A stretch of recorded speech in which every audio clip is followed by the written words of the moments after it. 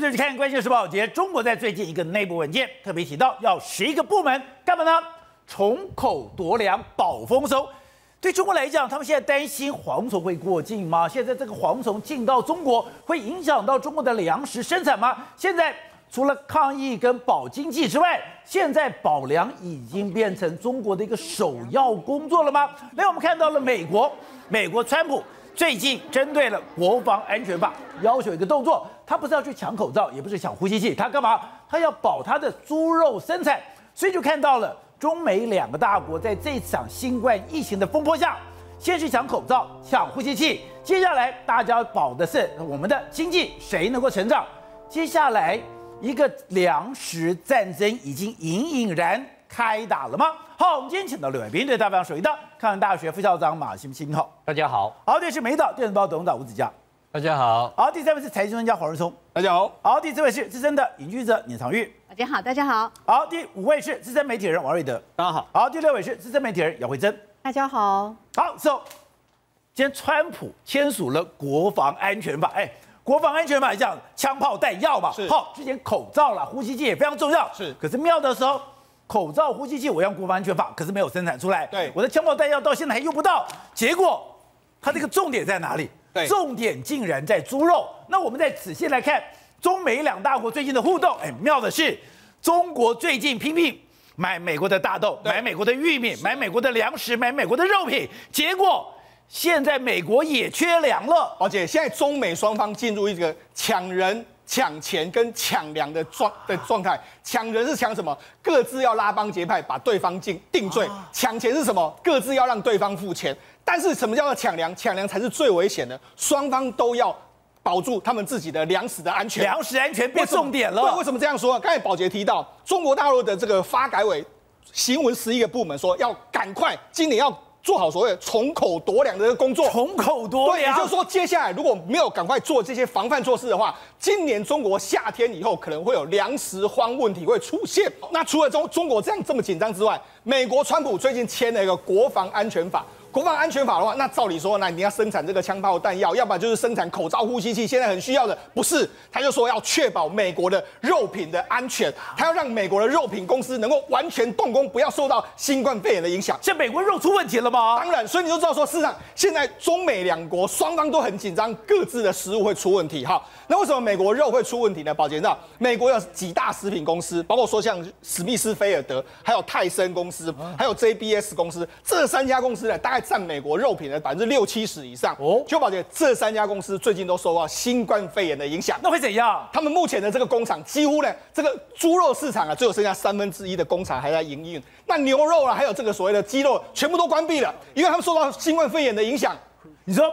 现在我生产的猪肉、生产的牛肉、生产的鸡，对，没人宰杀了。对，也就是说，因为没办法宰杀，所以你要出现什么局面吗？这个像在这个他们美国的农场里面，很多小猪生出来就必须要扑杀。为什么？因为没办法养，没办法送过去，所以他们现在美国已经扑杀了一百万只猪。这些小猪？对，就扑杀，没有办法养，没办法扑杀，一定要扑杀，而不止猪扑杀这个猪，牛也被扑杀，那连鸡鸡也被扑杀，大量的动物都被扑杀，因为下游的所有加工厂全部都停摆。那为什么会停摆？因为他们这些人都染了新冠肺炎。那都为什么染新冠肺炎呢？宝姐，他们一开始其实这些公司都要确保美国的粮食安全，所以当初这些公司都说鼓励员工来上班。哦，新冠肺炎开始的时候，来来来，你来你来，赶快来继续上班。我要保持我的肉品生产。对，那甚至宝姐啊，他们还给你加班费，你来的时候给你五百块美金。所以他们当初都去了。那去了之后。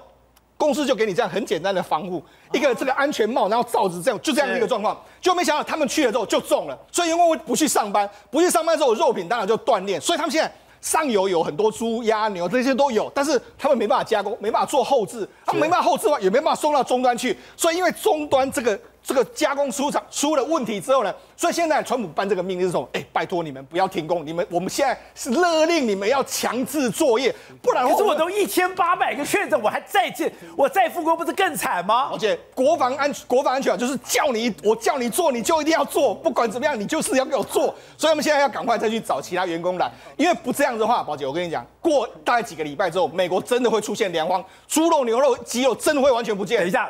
现在在美国，它的猪肉问题、牛肉问题、鸡肉问题到底有多严重好，我们现在给大家看一下，这是目前美国的这个报价，这个这个比较深的这条色是这个牛肉，那比较浅的这条色是猪肉。宝前长，过去牛肉比猪肉贵，那是一定的。可是你看最近这段时间，猪肉不一样，猪肉你看它飙涨，从这个这个两百二十一路飙涨到两百九290十，你看，所以猪肉现在美国现在猪肉飙涨，对美国，你看猪腩今年的话已经涨了一百三十七，所以你就知道说，事实上今年以来的话，猪猪肉涨幅比这个牛肉还要更多。所以你说做培根的猪腩，对现在已经涨了百分之一百三十七对，了也。就是说，因为猪不够，猪不够的话，你看整个价格大涨的一个状况，所以导致现在美国涨要确保猪肉。我们给大家看一下，这是全球全球的猪肉的这个产量。你看啊，全球猪肉产量是节节往下滑，对不对？对你看今年的话，比去年下滑这么多，哎，你需求量很大，但是下滑这么多，那为什么下滑这么多？因为现在全世界都受到什么非洲猪的影响，哦尤其中国大陆减少的最多。你看中国大陆这下面这一块是来中国大陆，你看中国大陆的生产量这样急剧的往下坠，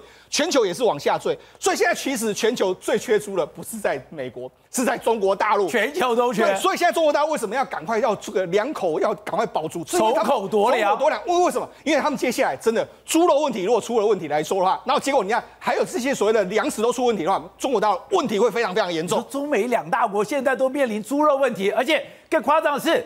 美国又轻忽了，是美国一开始没有注意到，被中国在全世界把口罩收光光了对，在全世界把这个呼吸器收光光了对。现在原来中国又偷偷的把很多粮食给收购对，了。我们必须讲，中国大陆在这一次的所有布局里面都是超前部署。他们现在哎发布了一个什么？我记得我们当初在讲这个中国大会粮荒的时候，很多人就说怎么可能？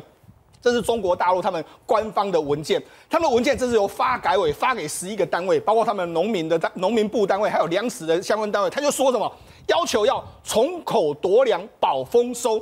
那为什么要这个样子呢？因为主要就是刚才我们提到，蝗虫不是来到亚洲，听说如果这个没有处理的话，他们在今年夏天的时候呢，可能会从这个云南啊、西藏啊各方面，还有新疆方面三面会夹击进来，会进入中国大陆。进入中国大陆的话，中国大陆的粮仓大部分所在位置都会被这些蝗虫过境之后就完蛋了。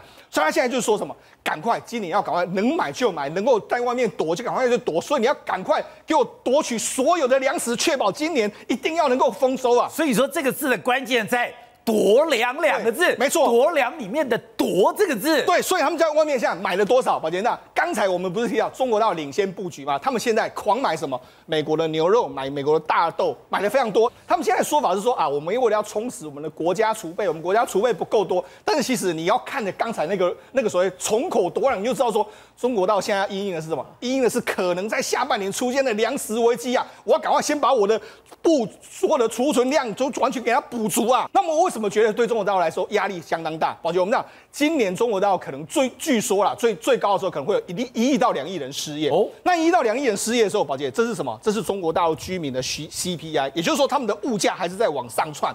他们目前的这个最新的物价大概是四点二左右，宝杰，我们台湾才一点二啊，我们哦台湾一点二、一点三就被被骂翻天，一二以上就被骂翻天哦，食物涨价二就是已经通，已经膨这个了。对，一涨涨翻天就被骂翻天。哎、可是宝杰，我跟你讲，因为新冠肺炎的影响，这个中国的猪价还有中国的食物价格完全在往上飙升。你试想，现在就已经是这个样子，万一下半年真的那些蝗虫进来了，然后我东西又没有买够完全没有足够的粮食的话，那吃个粮食是这个 CPI 是不是在往上窜？往上窜的时候，搭配上我们今年这个中国大陆的这个失业人潮这么多的时候，那会对中国大陆的政情产生多大的冲击？所以我才说，这个所谓的粮这个从口夺粮这件事情呢，他们已经布局的相当好，一定要打赢这场仗。没有打赢的话，对中国大陆影响实在太大了。没想到中美在打一场粮食战争了，所以董事长刚才讲，中美之间的对峙感觉越来越明显了。美国现在的五眼联盟已经组合起来了，五眼联盟现在要去查武汉肺炎到底是从哪里跑出来的。更夸张的是，美国为了要对付中国，连俄罗斯都可以拉拢了。是的，现在这分了两个层面来看呢、这一次五眼联盟表现最突出的啊，其实是澳洲。对，因为澳洲非常非常非常的有非常特殊的条件。哎，我我今天才了解到，原来石正丽啊，他的实验室啊，跟澳洲的国家机构的生物机构有合作关系，而且石正丽呢，也在曾经在在这个澳洲担任过访问学者，对研究蝙蝠，就是研究蝙蝠，所以他们给石正丽取的外号就是蝙蝠的专家。哦，蝙蝠蝙蝠女王是那这个蝙蝠女王到澳洲就研究什么？就冠状病毒。对，然后当时还有一位他的博士生跟他一起做，也做了三年多，那石正丽做了三个月，所以他们澳洲现在新闻为什么现在才开始跑出来说，原来石正丽在澳洲有做过这个合作，这个很奇怪的事情。所以我认为五眼联盟他们澳洲是一步一步的，所以澳洲总理是到处呼吁，是各个五五眼联盟的国家，包括打电话给梅克尔德国总理，都希望说一起来合作。来要求中国大陆把病源的源头要能够追查出来。你说澳洲有打电话给梅克尔，梅克尔才改口才要求中国说明这个病毒怎么回事吗？我看不只是打电话而已，应该是有提供出相当的情报的交换。那我们也提过了，这个他最有名的这个公安部的副部长孙立军的家人，目前还住在澳洲。对，所以呢，孙立军这个人是当时在第一时间掌控住武汉所有的公安系统。对，所以他在封锁这个 P4 实验室，由军方接管，是由清理华南市场，由整个医院的每天数据呈报，第一时间全部是公安掌握的。对，所以从头到尾都是公安掌握的，一直到他出事情，他四月一号被抓捕以前呢、所以这个又跟澳洲发生关系，所以很多跟澳洲有特殊关系的人跟物哈、都同时在在这个每天每天都不断的浮上台对面。我我想很多次很多情报也就慢慢慢慢曝光了。难怪澳洲变成主角了。是他变成一个呃主角，而且很积极的在扮演这个角色，我觉得非常的奇怪啊。而且澳洲大概跟中方，那现在看起来的话，已经全面翻脸，包括连军事上的合作，在南海，澳洲的军舰跟这个跟美军的军舰一起来合做一一起共同演习等等啊。呃，所以这个五眼联盟这部分跟西方国家的合作大概没有话讲了哈。这大概，所以我认为川普在推动一个大型的所谓的五眼联盟是它的基本班底嘛，是基本盘呃，川普的整个大的包围圈已经形成了，这个去中国化大概形成了。那其中最大的高潮呢，其实是在这个跟美俄的联合声明，这个很重要吗美俄联合声明这个这个太重要了，这个这个哈。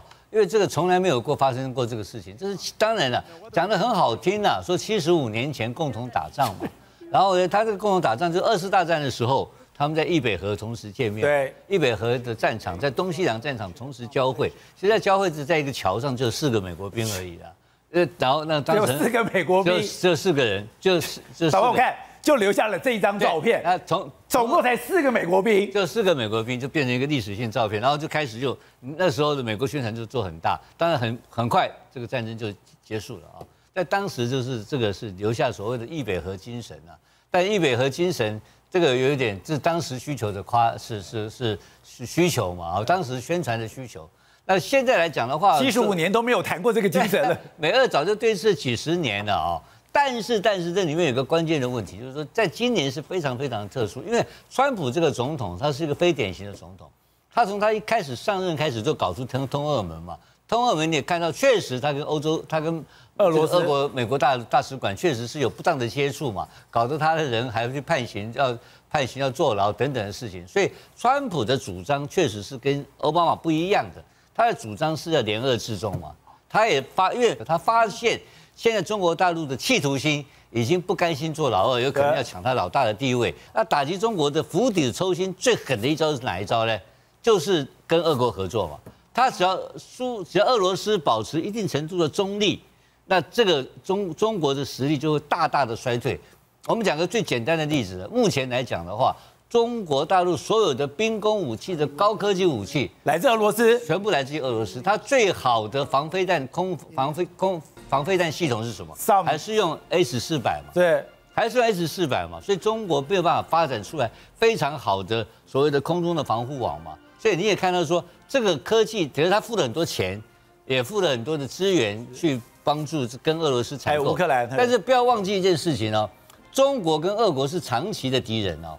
他不是朋友吗？他除了他除了普京这这几年以外，过去因为他陆上边界的争执不断的，对从来没有停过啊。哎，两边互相的这个猜忌心很重啊，而且俄国人有一个心态啊什，么心态？他认为他是欧洲人，哦，他的内心里面就不见得瞧得起黄种人，是哦。所以俄国一直认为他是欧洲人。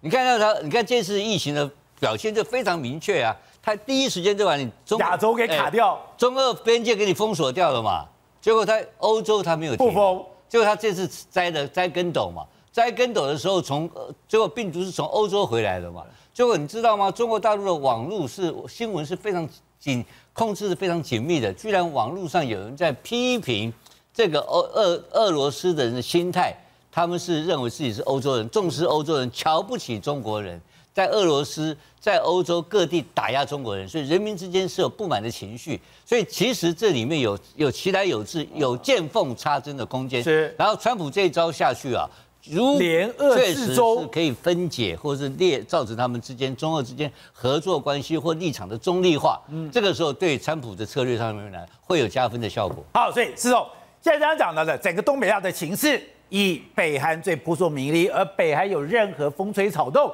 整个东北亚都会陷入纷乱当中，台湾也不可免。是但现在有个最怪的事，怪在哪里？嗯，大家现在不都在问金正恩在哪吗？金正恩到底生还是死？他到底如何？但问题妙了，是不是金正恩？对是现在北韩所有的领导班子目前全部都不见了。宝姐，目前北韩啊正笼罩一股非常奇怪的氛围。我觉得目前竞争人可能已经快要接近死亡，或者他应该还没有死亡。为什么？因为现在一个诡异的状况是，所有金氏家族可能接班他的人都完全不在。这个让我们想到，是不是有点像雍正王朝，有康熙快要死夺嫡？那时候夺嫡，每个都有机会的时候，大家都在准备，可能等他最后的时刻出面来夺取这个政权。我。们看到过去历代的夺嫡都有一个关键，对，当老的君王死的时候，对谁离他越近，是。谁在君王的旁边，谁才可能继承，谁才可能夺权。是。所以如果金正恩有三长两短，这些人有可能夺权，有可能夺嫡，有可能掌权的人，全部都围在金正恩旁边。对，大家其实要看着金正恩的身体。对第二个是要彼此监视。没错，到底谁能够在金正恩假设真的过世之后，我能够第一个夺下政权的？所以这些人一定要在他身边，我们都要一定要拿到。譬如说，如果金正恩有什么遗诏的话，我们一定要赶快他宣布是谁，就是 OK。所以为什么会神完全都不见了？因为他们必须要围在金正恩身边，等他最咽下最后一口气，然后到底谁能够夺权成功所以我你讲，金正恩不见了，那你有看到金宇镇吗？没有，没有金宇镇也不见了。你说金宇镇不见了，李玄祖也不见了。对李玄祖不见了，还有可以讲说，因为金正恩不在，但崔龙海，对崔龙海也不见了。也不见了。所以你可以看到这几个人：崔龙海、金宇镇、金平日、李学祖，还有包括金正哲，这五个最有可能接班的人，现在完全都不见了。所以让人家觉得说很诡谲的氛围。如果你把它对比到类似中国过去的夺嫡的这个氛围来说的话，你会觉得，哎、还真的有几分像。好可怕哦！那个山雨欲来的味道来了。好，那是北韩内境内来说，大家在等的最后时刻。宝杰，在北韩境外呢，大家也都在等最后的时刻你看，在北韩的境这个附近来说的话，普丁。普京他现在也在紧盯着目前的这个整个北韩发展的局势。如果真的有风吹草动的话，我搞不好也要派任何的军队或是任何准备要过来。习近平也是一样。目前中国大陆除了东北附近的这个铁路完全封了之外，对七十八七十八第七十九集团军已经来到这个边境附近，准备随时要进去。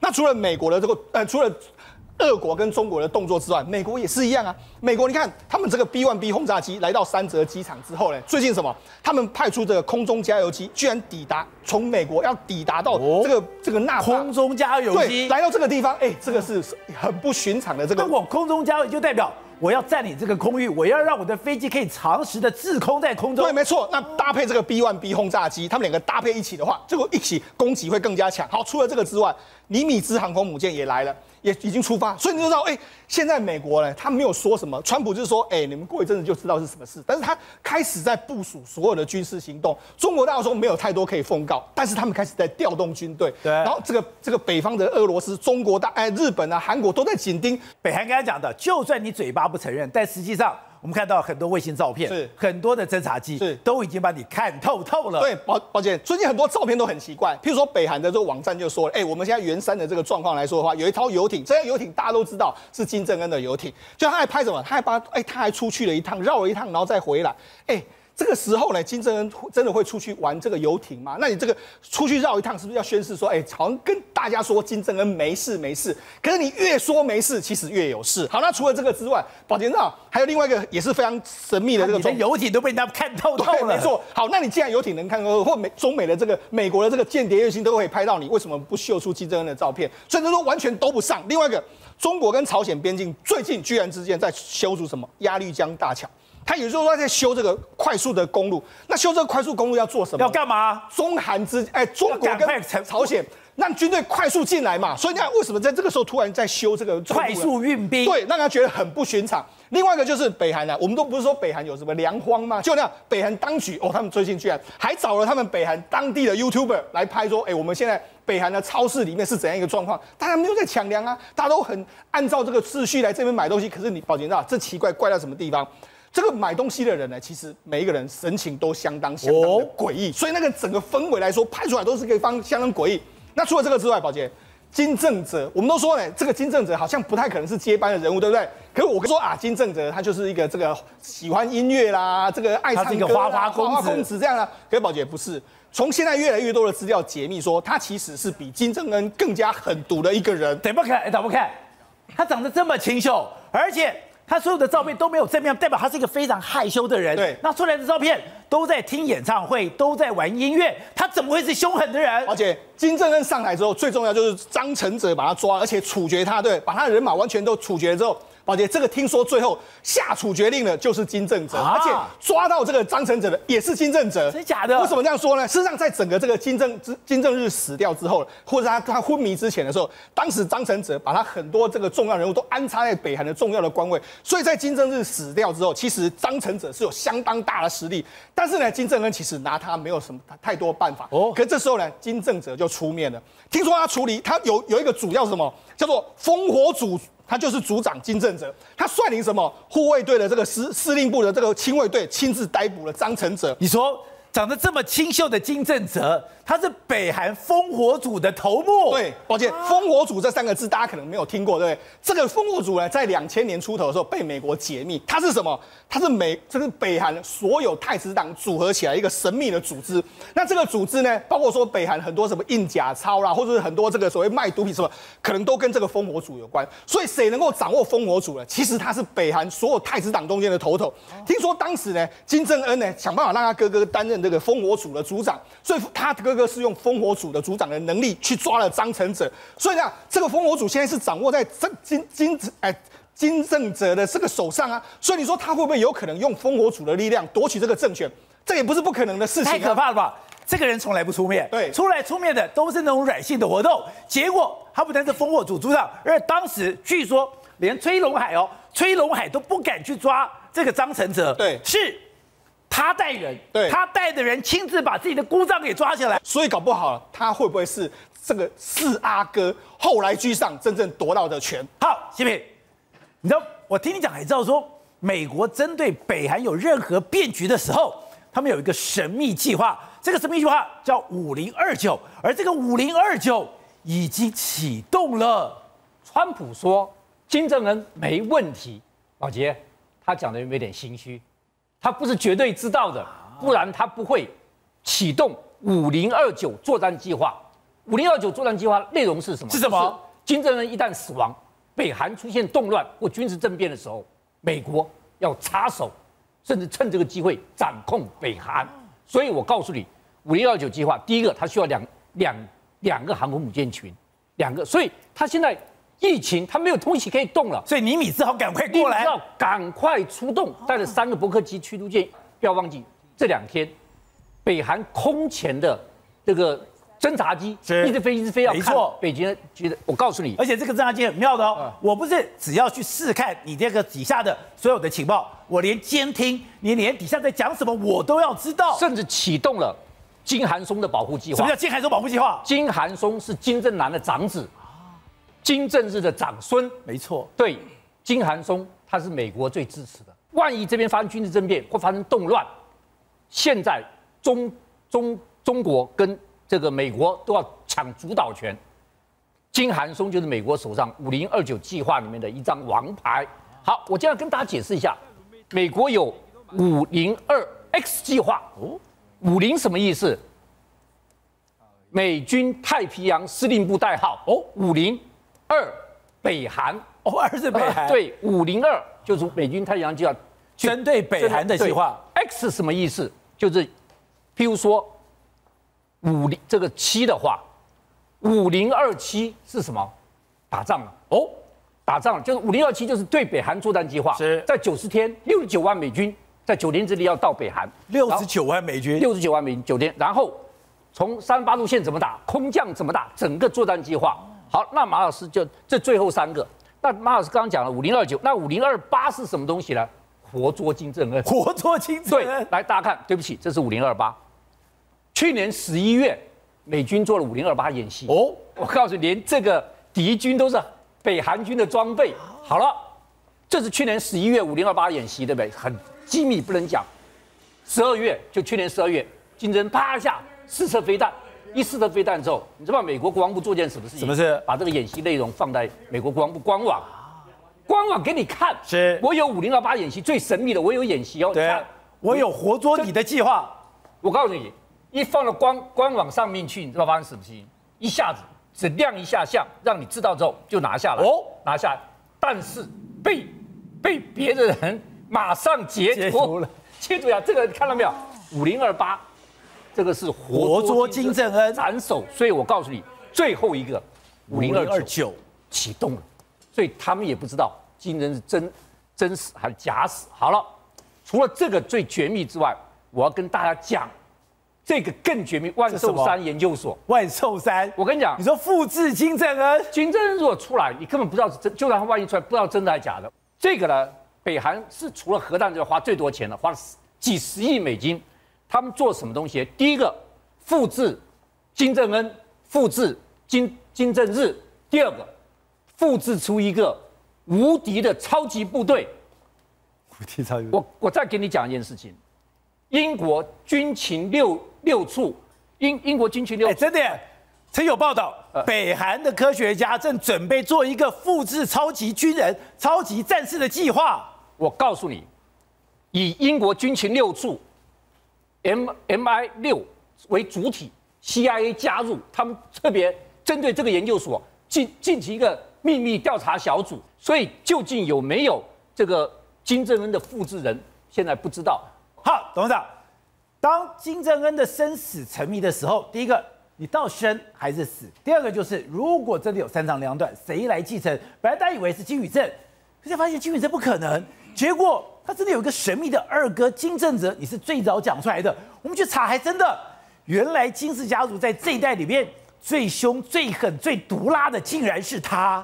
对，喜欢音乐，喜欢打篮球，然后文艺青年，浪漫无比，然后下手很重。你看长这么清秀，然后第二件事情就是说，金正恩的路线能不能够维持下去？对金正恩是第一个南韩第三代最优秀的领导人，他游走在中美两个大国之间，让他韩国的空间整个扩大，然后把打出一个南韩的呃的北韩的空间，甚至于取得了南韩跟世界各国很多协助哦。他的开城工业区创造了很多的经济的力量哦，而且创造了很多的新的这个财富。所以川普讲很简单嘛，不要过几天你们就会知道了嘛。所以这个事情是等的是宣布的日期而已。至于多久宣布呢？他上次搞了五十几天嘛，他上次搞了五十几天，为什么搞五十几天？因为在搞搞神秘，你知道吧？搞神秘之后，突然间他派的这些崔龙海这种大将、大的高官去跟南韩谈判嘛，那不让吓南韩一跳，让他说，哦，这个是不是出事情，是不是要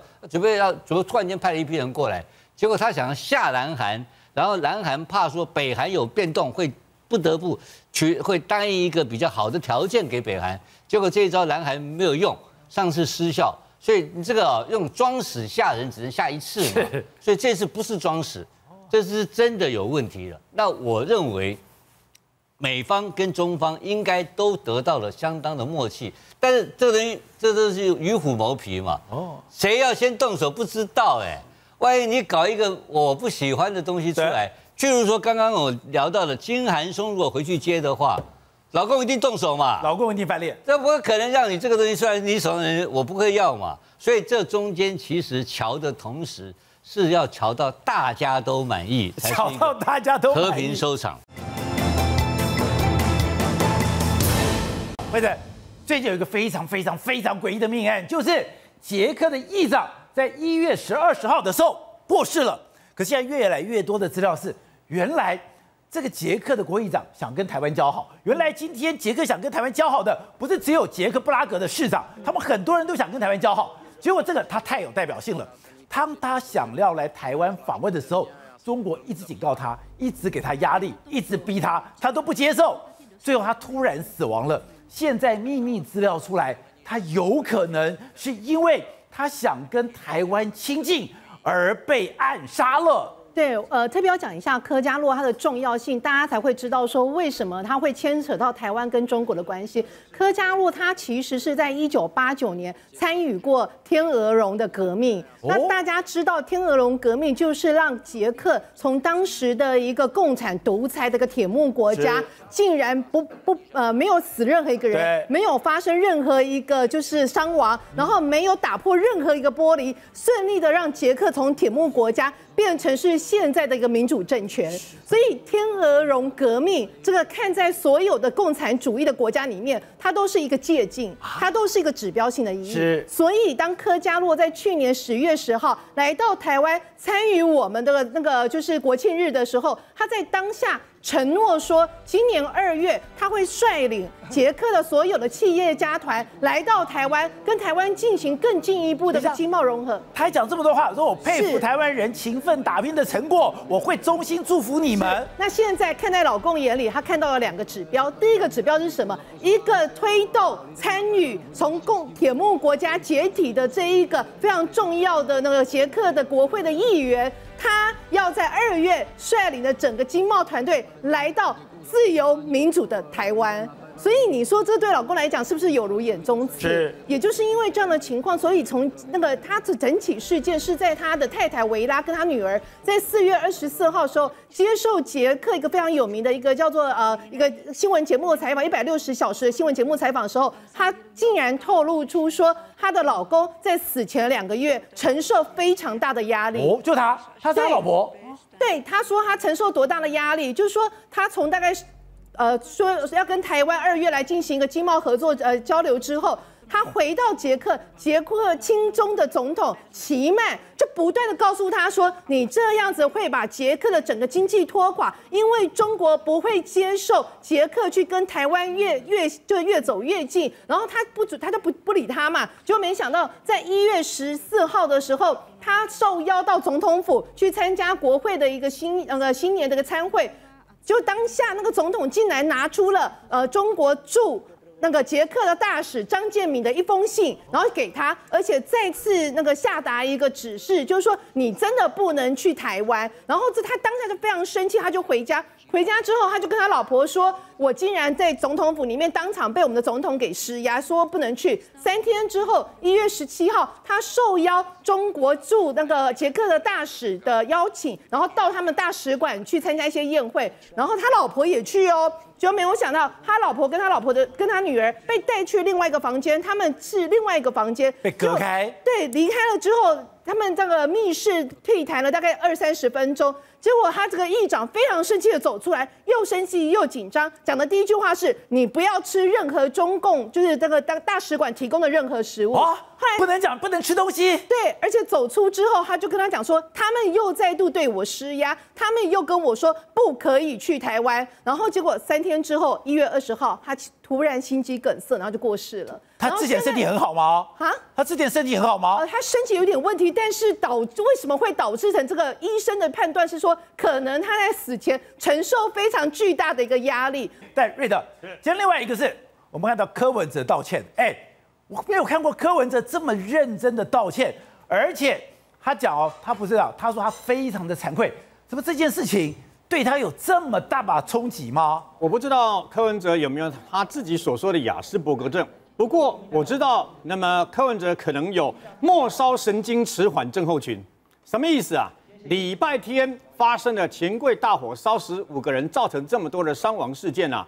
过了四天以后，他突然间才想到要道歉，突然间才想到要惭愧，整整四天。他说：“我工作时间都比都比其他县市首长长哎，你知道吗？”他竟然这样讲嘛？那现在事实上你把它说明就好了，告诉柯文哲啦，全世界工作时间最长的在历史上叫王莽，不相信去看《资治通鉴》。他大小奏章，什么事都要自己批，嗡嗡嗡，他就像一个大蜂王一样。那个人叫王莽。那么后来在昨天还记得吗？昨天他不是回应的时候，他说什么鲁洛理论，每一片都可以都有缺点，有没有？他说你鲁洛理论还说法令定在那个地方，老百姓有遵守的义务。然后今天不可以说法令定在那里，然后你们现在开始说政府怎么没有去抓到犯人，犯法的人自己要负责。我的天呐！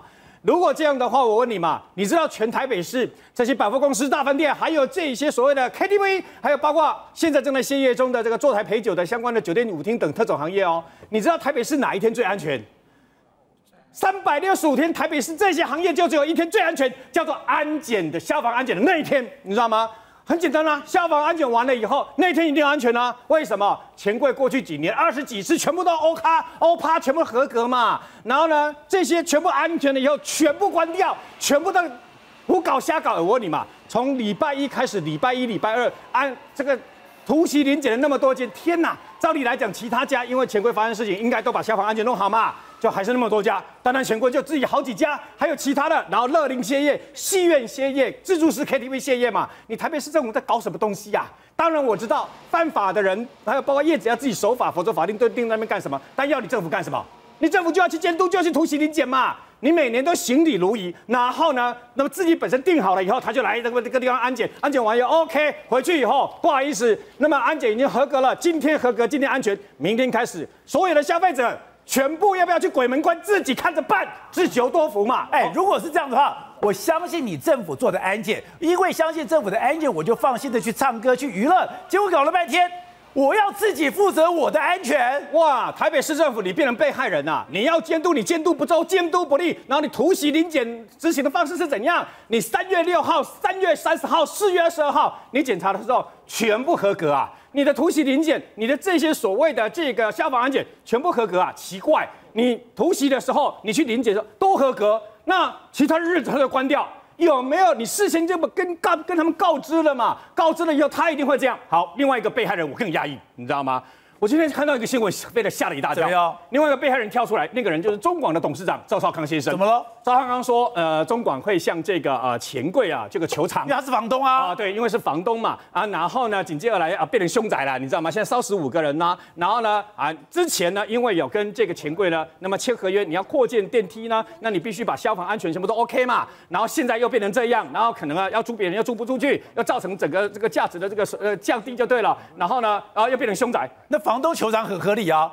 我愣了一下，就说为什么这个房子跟你赵少康有关系吗？没有吗？那中广没有关系啊！各位，宝洁为什么这样讲？你知道吗？哎，因为这个地方十几年前我录影都在他的顶楼啊，你知道吗？他的一楼就是 VMix，VMix 就是中广当时啊买下这栋大楼了以后呢，跟相关单位他们在这个地方开了一家 KTV，当时 VVX 还号称是。东南亚最大的 KTV，我在自由时报当主管的时候，我的手下这些我们吃尾牙，我都办在 VVX 啊，你知道吗？所以我对那个地方非常了解啊，各位，我跟各位解释一下是怎么来，为什么说跟赵尚康没有关系？为什么赵尚康会跳出来啊？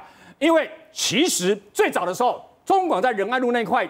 金金华区的地保这一块啊，地保卖掉八十八亿，卖给当时的党营事业国民党的中投公司嘛。中投公司在这个一九九零年的时候加两亿九十亿卖给那时候宏盛集团，后来盖的地保哦，就是那时候台北市第一豪宅嘛。然后后来这些钱哈不啷当靠掉土地增值税，他卖了九十亿，土地增值税全部靠掉哦，有六十八亿，他买了两个大楼，一个就是松江路的大楼，现在的中广哦所在地。另外一个大楼就是林森大楼，就是现在这个 V V Mix 跟钱柜的这栋大楼啊。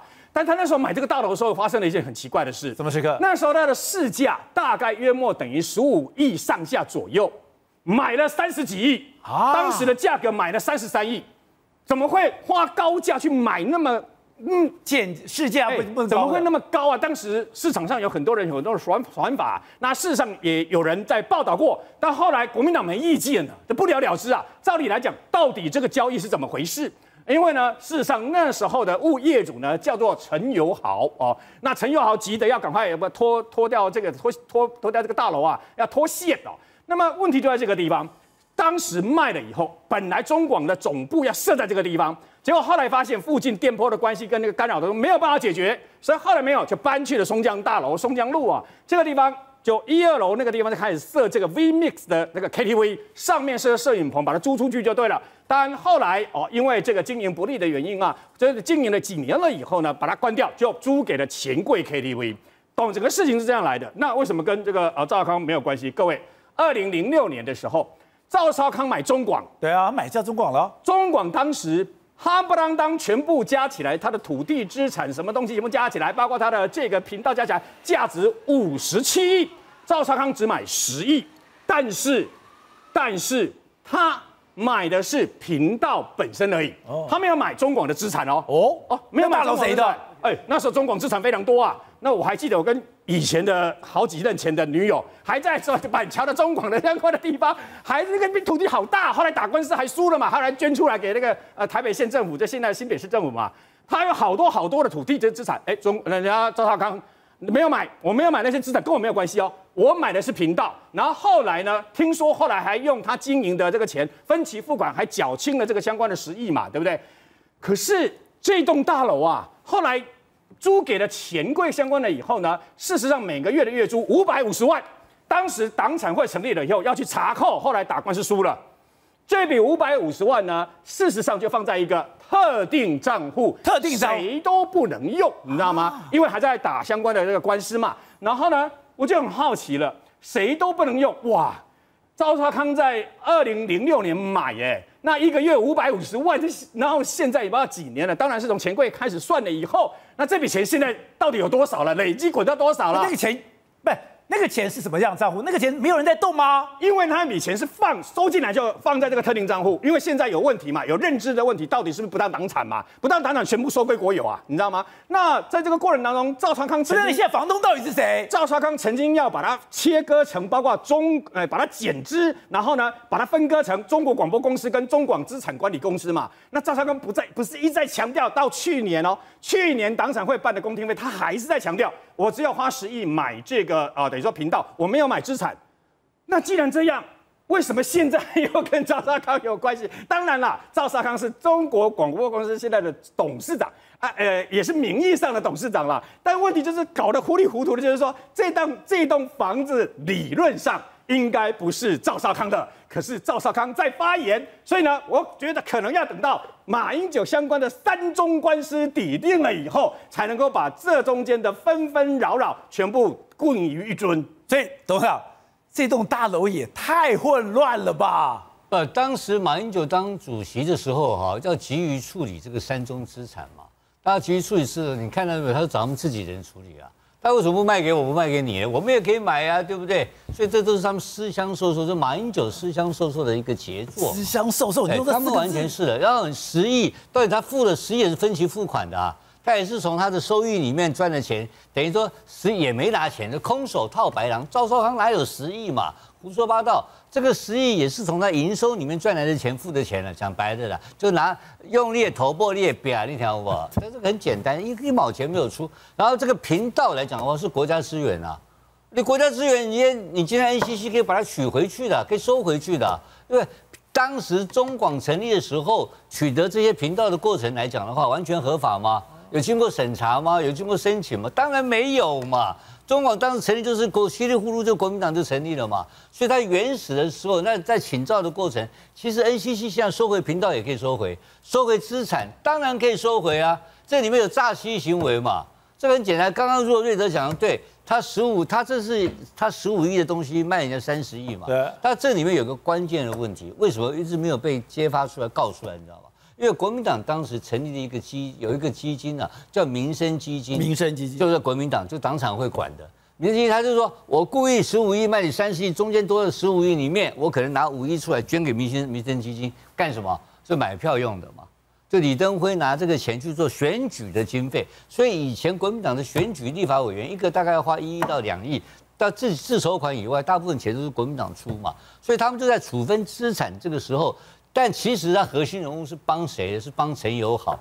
陈友好那时候陷入财务危机，所以这栋大楼是一个不盖在一个不恰当位置的一个非常高档的大楼。我还有很多好朋友买了一层一层嘛，后来到了陈友好要处分的时候，就把这个大楼又收回来，用原价收回贴利息啦，然后再卖给呃这个再去卖给这个这个国民党嘛。所以你去算国陈友好卖的价钱，他收回的价钱跟卖给工厂价钱有个庞大的价差嘛，这个就是摆明的是一个掏空行为嘛。那这个政府就可以处理，检方就可以处理。那赵少康今天出来讲这些话哈，反而是自曝其短了。我觉得当场会再追查下去的话，可能都要倒霉。知道越爬出周扬后面的背景，他发现他爸爸不但是中国银行的副行长，而且他可能是朱镕基的嫡系人嘛。也难怪现在中国大陆已经全面封杀罗志祥。更可怕的是，之前我听过常玉常讲哦，你不但是我今天这个钱已经赚不到，五点六亿赚不到，搞不好我还要付出将近十多亿的赔偿。没错，我们就曾经讲到，在中国共产党里面呢，枪杆子跟钱袋子两个都要顾好。但是在目前为止来说，钱袋子会比枪杆子更重要，因为什么？因为没有中国到现在大家都在这个挖弄钱嘛，所以钱是最重要的。我们跟大家讲，如果周扬青的父亲，哎，周扬青的父亲真的是周载群的话，他可能真的惹错人。因为为什么？因为中国大陆的，你只要在中国大陆能够干干到这个副行长呢，你不是朱镕基的人呢，就是温家宝的人，哦要不然就是王岐山的人。也就是说，他你呢，上司你一定跟他们都会有渊源。为什么？因为中国大陆过去十几年来、二十年来，金融界就是他们几个在把持里面。你看朱镕基的儿子到目前为止还是中国大陆数一数二的这个十这个所谓的创投基金，温家宝的儿子也是啊。那王岐山你就不用讲，哎、他是跟美国华尔街能够对上话的人呢、所以呢，他们都都是这样，哎、问题是他们几个都是干到国家的这个总理啊，或者是干到国家副主席啊，所以你跟他们完全牵扯在一起的时候，你就知道说你真的已经完全完蛋了嘛，因为是根正苗红的一群人，所以人。这些人呢，一定会让你死得非常难看。好，为什么这样说呢？为什么我们说这个金融帮都很厉害？我们先从远的开始来看啦。索罗斯呢，他曾经在这个一九九七年、九八年那时候横扫亚洲，对包括说像这个到这个这个英国啦，去这个放空英镑啦，甚至到这个亚洲泰国泰国啦、印尼啦、马来西亚马来西亚都全部被他狙击了。结果后来他他输给谁？他输给港府。港府他的他真的输给港府不是，他是输给了朱镕基。朱镕基当时就是说我一定要守住香港，所以呢，他跟索罗斯打了一战，对干过哎索罗斯曾经是这个金融大鳄，到目前为止，大家看到他要空什么时候，大家都很很紧张，对不对？就他败给了朱镕基基，你就知道说这些人呢是相当有手法跟手腕，他们知道怎么跟你打，即使打那种正规战，他也可以跟你这种史上最大规模的金融大鳄的大战争，他也可以打的赢。所以讲的中国银行最可怕的是，他都在外面。对在外面的时候，你要跟全世界这些金融单位的人、金融大鳄是真刀实枪的对干。对，因为我们讲到，事实上这个中国银行，它在海外是这个影响力是比在在国内更大，包括在在香港、在台湾都是如此。好，这是这个金融这些金融家第一次击退了外来的来来者的这个犯。那另外一次是什么？另外一次是金融家发动对习近平的进攻。抱歉，这一场是这个是二零一五年，我们在节目上讲过非常多次金融政变。事实上，习近平呢，金融政变最靠近下台的就是这个时刻。你要说什么周永康啦，或者最近的什么孙立军那些人，其实对他影响都不大。但是这次两千零一十五年那一场股灾，到目前为止，让习近平都还相当相当的紧张。为什么？那一次的这个股现这个所谓中国上证指数来到了这个六千多点的时候，一路往下杀，几个月里几个礼拜的时候就跌了五成。当时那个时候那时候朱镕基哎，这个温家宝不是说要动用一切的资源要暴力救市？当时的整个这个习近平的这个政权是摇摇欲坠，谁对他发动攻击？就是金融帮，所以我才跟你说，这些金融帮的人员，他们私底下的这个实力是横贯整个中国大陆的这个整个里面，他们是富可敌国，同时可以动摇国本。而且他们的人脉非常的深广。当然是非常深广。宝洁，我跟你讲，这个他们这几个人是互相互相，这个算是一个整个金融帮。这个金融帮里面来说，他们可以影响的这个学长学弟这样互相的勾结，互相的这个在一起的时候，他们可以动用的资源跟动用的影响力，是我们完全无法想到想象到。任何这个我们讲，任何中国大陆的重要企业，或者任何大陆大陆的这种说娱乐公司，它最后还是它还是要钱背后就是金融帮。钱嘛，所以钱还是主宰了一切。所以他惹错了人的话，那当然下场会非常惨。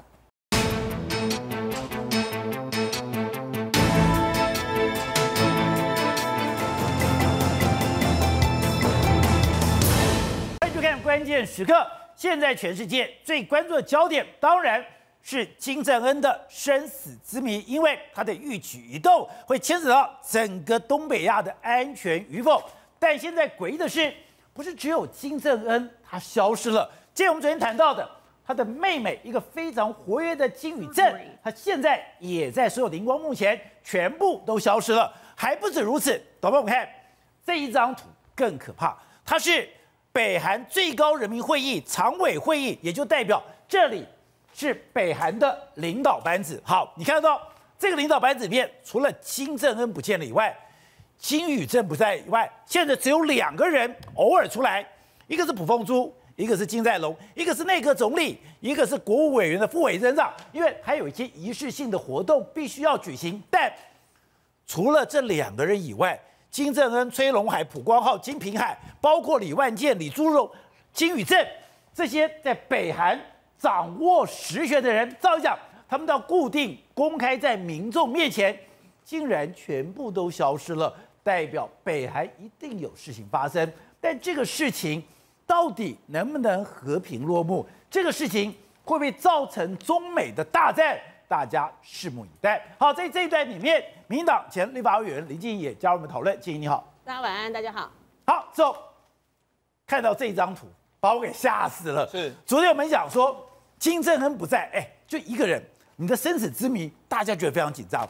结果搞了半天，哎，不是他不见了，金宇镇他的妹妹刚刚讲，这个是他的最高常委会议，本来他是候补委员，站在最旁边。是，后来我们去查了一下，哎，不是金正恩，不是他妹妹。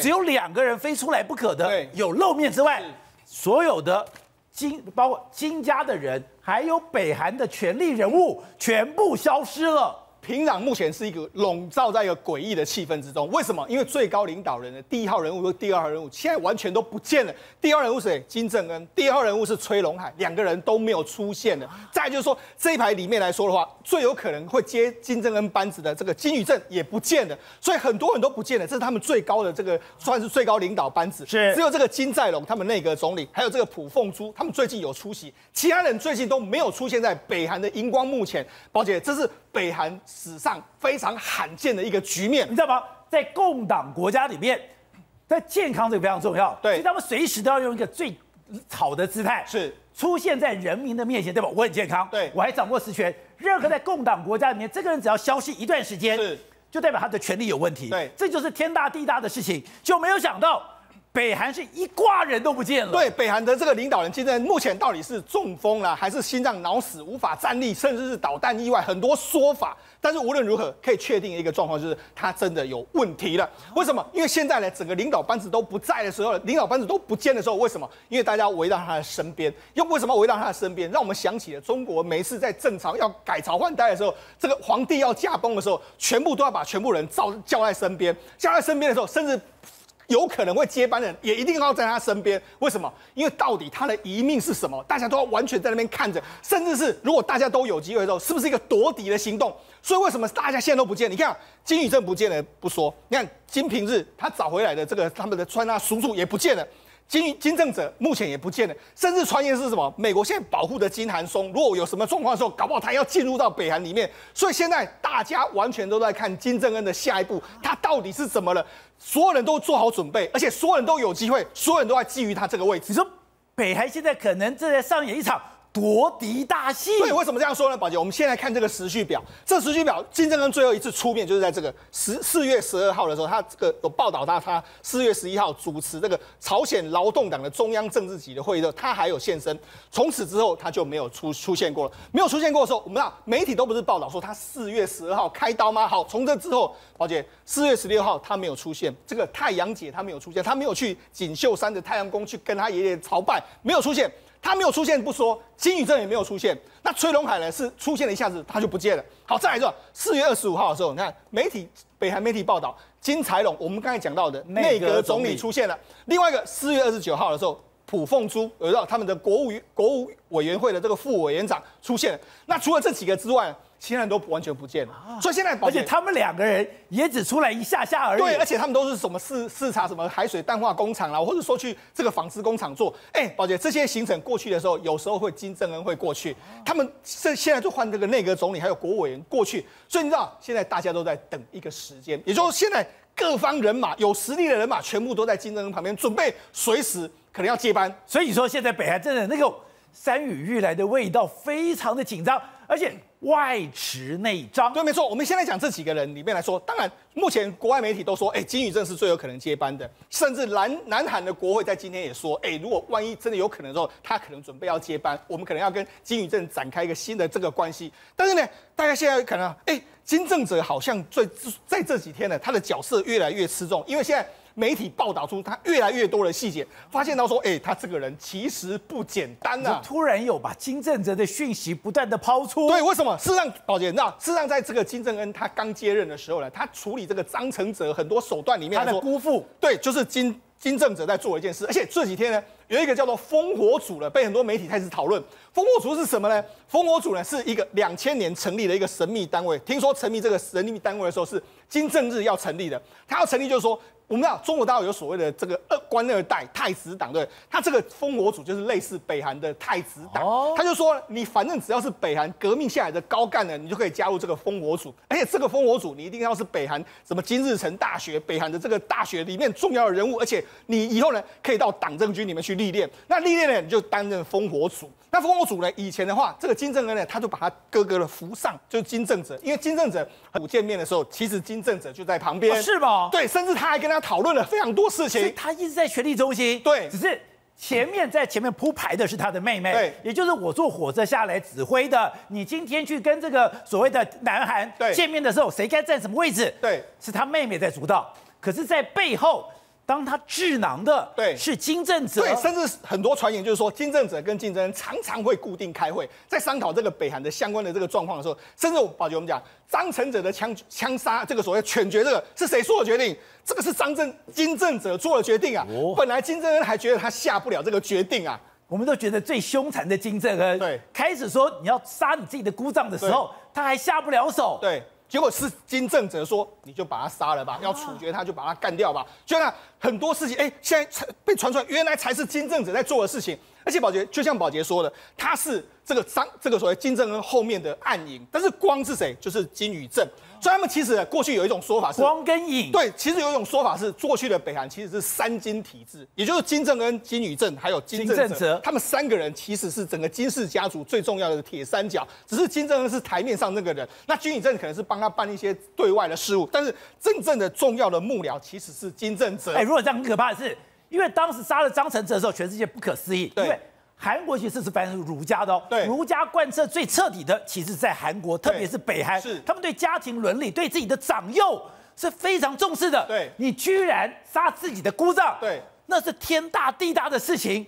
如果金正哲敢做这种事，对，他没有什么不敢做的。对，而且金正哲为什么早早年的时候，他其实就对他，在根据现在媒体曝光越来越多的时候，金正恩假设假设真的怎么样的时候，其实两个人最有可能，一个就是金宇镇。另外一个就是金正哲，那金宇镇呢？他有一个非常好的优势，就是他跟这个这 个所谓崔龙海相当大的关系。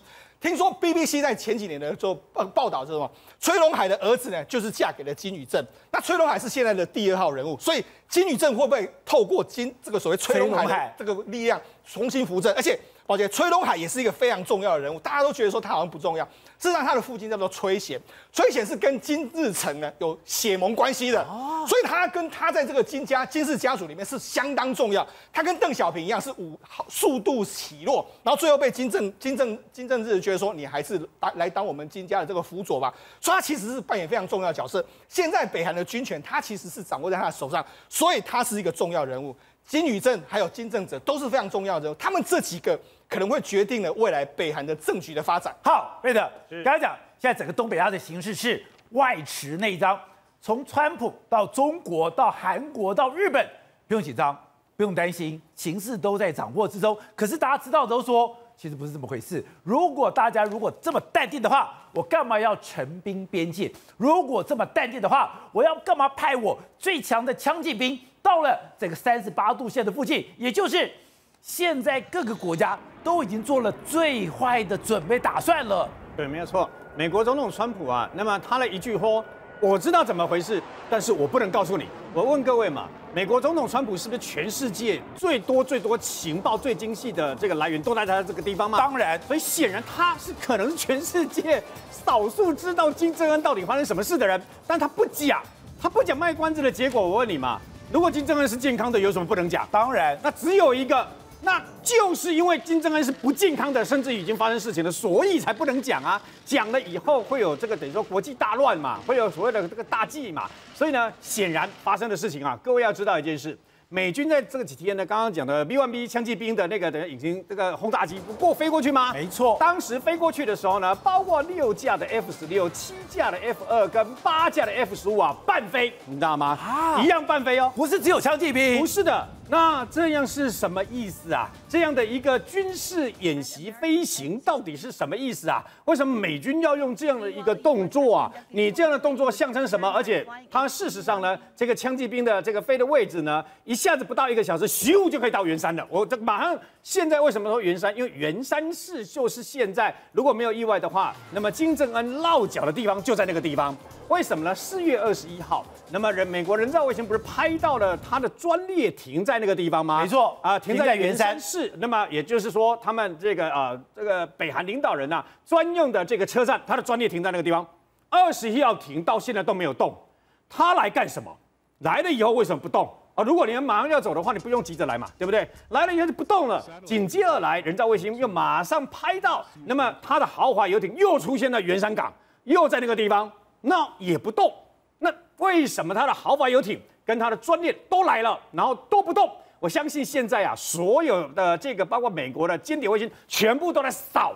都在扫相关的这个等于说北韩的上空。那么中共在鸭绿江畔有没有调兵？你知道吗？有没有调兵也在中那个鸭绿江畔？现在全世界表面上看起来不是七十八、七十九集团军都过去了吗？表面上看起来好像平静无波，水底下全部大家都已经美国在较劲，然后中共在较劲，搞不好连俄罗斯都已经有动作了。那事实上，美国这次最特殊的是，刚刚不是说有六架相关的侦察机都过去吗？没错它有一个这个叫做联合性的一八侦察机最特别哦，为什么呢？其他侦察机啊、包括可以调动，我们都以前都听过啊、包括这个 E to T，然后这个包括空中的啊、包括这个潜艇的等等啊。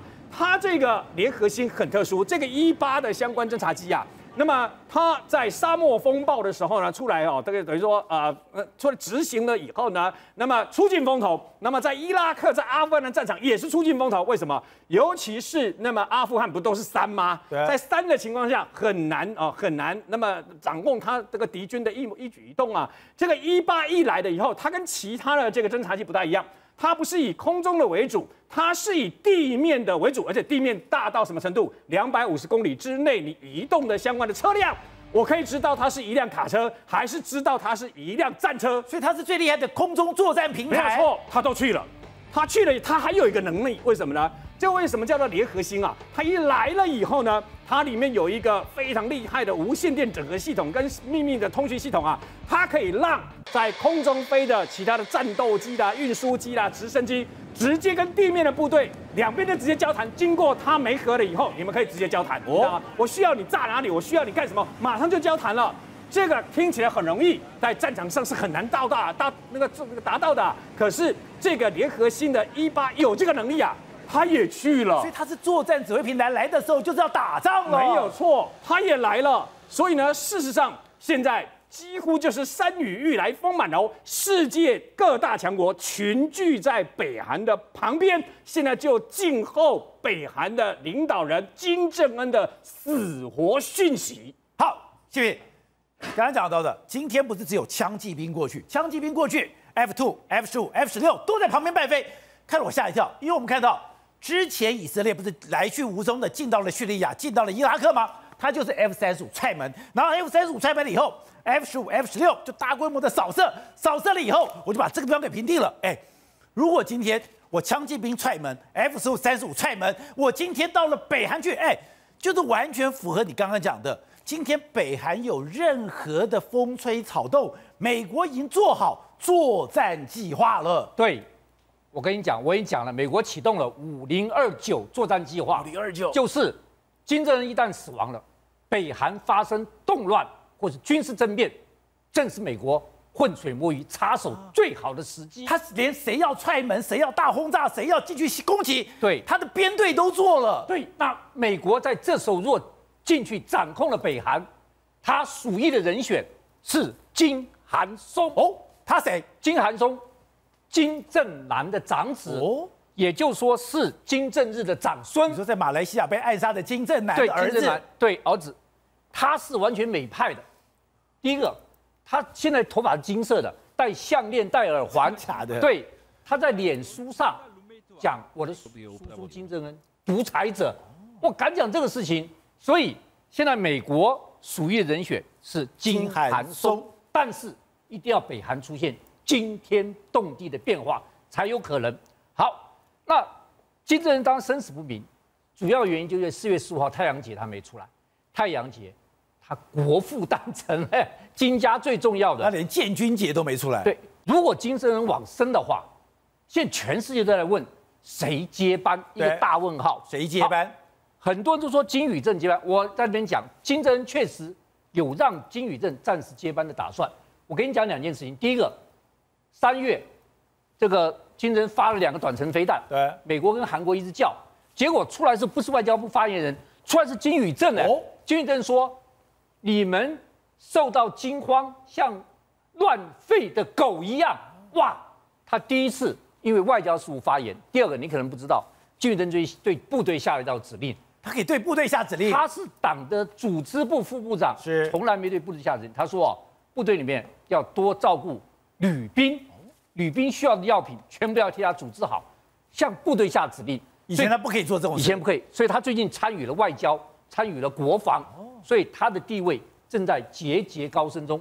啪下，金正恩出事了，大家就说他的他的接班路会被受阻，因为金正恩不在了，她是个女性，在北韩还是男性当家是，所以他能接班，我认为最重要当然是崔崔龙海，因为崔龙海注意党政军，党他是劳动党的副第一副委员长，党的第二把交椅，除了金正，第二他是中央军委会委员，部队在他手里面，第三个不要忘记他是国务委员会的第一副委员长，他是党政军都有党政军都在他手里面。那传说金宇镇嫁给他儿子崔成，如果这是真的话，他们亲上加亲，崔龙海当然支持金宇镇如果没有这件事情，第二个他就问崔龙海，你党政军在手里面，你会不会自己出来？有可能吗？不可能他还夺权吗？他会遭遇到很大的问题。所以第二个，我认为他会去支持金正恩的十岁儿子。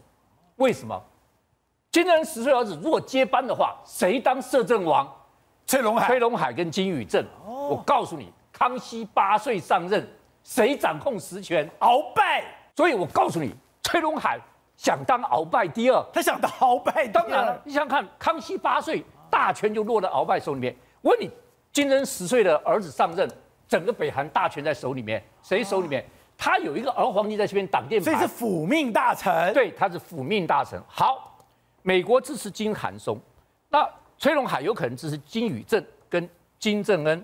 现在一个新问题来了，最接近的老大哥，中共支持谁？我认为中共支持金正哲。那个最神秘的金正哲，我告诉你，金正哲厉害多了。康熙真的很厉害吗夺嫡，对不对？所有人都静悄悄，没错现在整个人失踪，就是跟康熙夺嫡一样，谁都潜伏在那边，哦但都不表态。表态最快的，死得最快。哦，不要忘记，当年康熙给了雍正，雍正一上任，对不起，老八的老九十，老十四去守皇陵。